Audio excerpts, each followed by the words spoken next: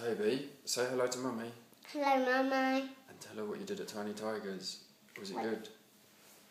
He did lots and lots of things that I can't remember. Can you remember any of them? No. Oh, was there painting Mm.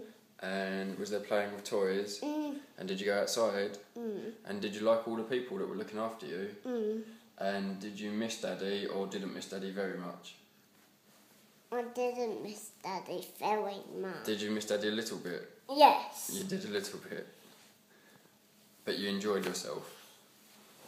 Would you like to go back there again tomorrow to do more playing? Mm. You would. With Daddy. Okay, your daddy will come along as well for a bit.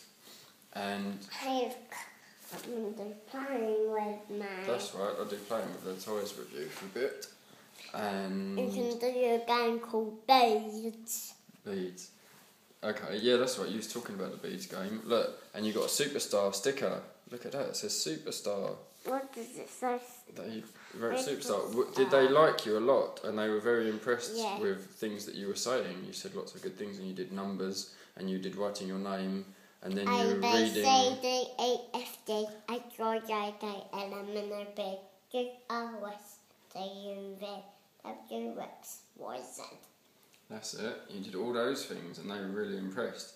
And then you were reading the words on the walls. You read out Jesus, uh, Jesus saves broken lives, was it? Something like that. Yeah, and they were very impressed with you, weren't they? So that's all very good. And it's very cold out now. And we walked all the way back home.